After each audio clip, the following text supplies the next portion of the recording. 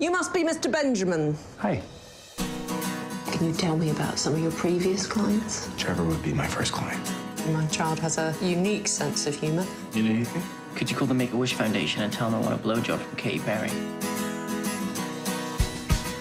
He wakes at the same time every day. He watches TV at the same time every day. He eats at the same time every day. Two waffles, one sausage. Did you arrange these to look like large testicles and a small penis? Yep. Did you bring the divorce papers? I'm not ready, Janet.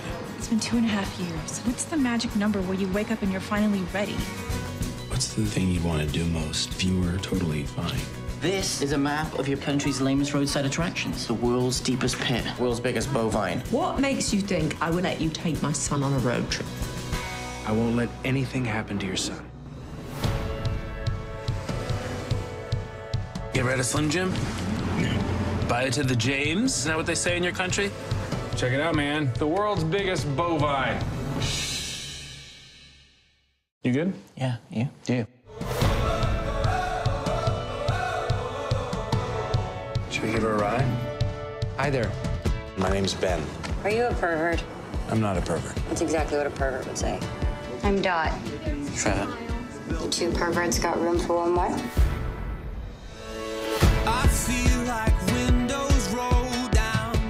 See my father. He left when I was three.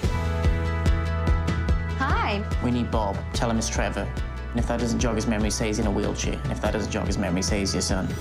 And if that doesn't jog his memory, say you're an enormous dick. Like when I close my I can't have you getting too close to Trevor. I can't have you making promises you can't keep. Are you asking me on a date? Yes, I am. You're not my father, okay? I'm trying to help you. Oh, you know. This is not about me. It's about you.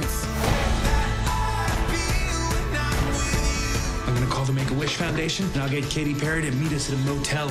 What song do you want her to sing while she's doing you? Fireworks.